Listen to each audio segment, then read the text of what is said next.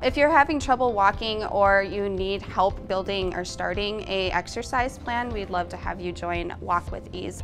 We're there to help you on your journey. There's been participants that said, I didn't really know what I was wanting to do with exercising and then I saw this program come up.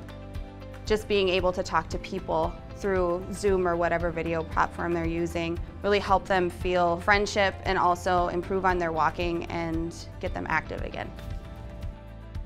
Walk with Ease impacts participants because it really motivates them to improve and build on their walking program.